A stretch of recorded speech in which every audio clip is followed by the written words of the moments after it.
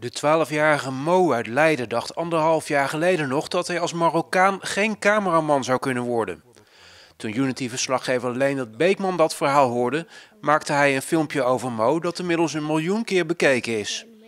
Er volgden honderden reacties en nu is er ook een korte documentaire over Mo gemaakt die dinsdag in première ging op het Cinekid Festival in Amsterdam. Mo wordt op het Cinekid Festival achtervolgd door camera's.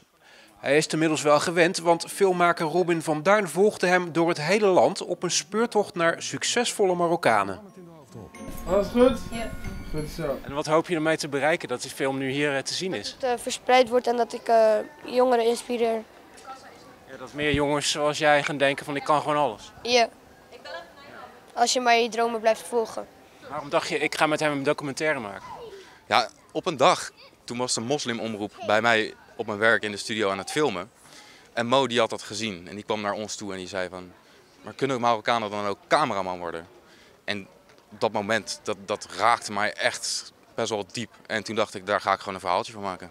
Nu uh, weet ik het. Ik uh, weet dat ik uh, als Marokkaan cameraman kan worden. En nu wil ik presentator worden. Maar eerst zijn er andere prioriteiten, want de klas van Mo komt ook naar de docu kijken. En dat vindt hij best spannend. Ik ben Mo, Met een en ik ben 12 jaar oud. Je ziet toch een enorme afdaling. Het is meer met procenten gehalveerd. Waarom wordt dat dan niet gezegd in de, in de media? Waarom zeggen dat de Marokkanen alleen maar achterlopen?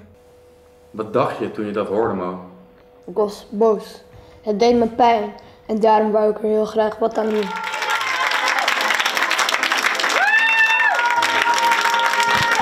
Hey, wat vond je ervan? Het was uh, heftig, hè? Ja, ik moest uh, heel erg huilen. Ik vond het heel ontroerend dat mijn hele klas zo mootje, mootje, mootje stond. Ja. En nu blijkt dat Mo er ook in geslaagd is om zijn klasgenoten te inspireren. Wat wil jij worden? Ik wil dokter worden. Ja. Ben je geïnspireerd door hem nu? Ja. ja, ik dacht ook vroeger van, ja, misschien kan ik ook niks worden omdat ik een Turk ben. En ja. Dat is nu veranderd? Ja, dat is nu veranderd. En daarom verdient Mo een dikke knuffel van de juf.